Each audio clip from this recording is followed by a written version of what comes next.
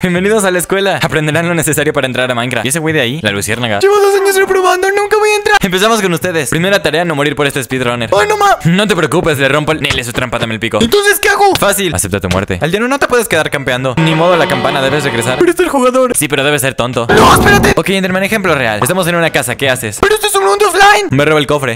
Algo menos OP. Bueno, ¿podría teóricamente hacer esto? Supongo que está bien. ¿Pero qué me Piglin, deberás hacerte una base. Listo.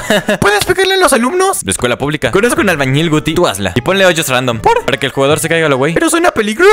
También cazarás cerdos. Pero soy un cerdo. Me vale más. Ay, ponte armadura de oro. Pero esto ni protege nada, me voy a morir. ¿Qué haces si no se la pone? Manipulación emocional. No eres nadie sin dinero.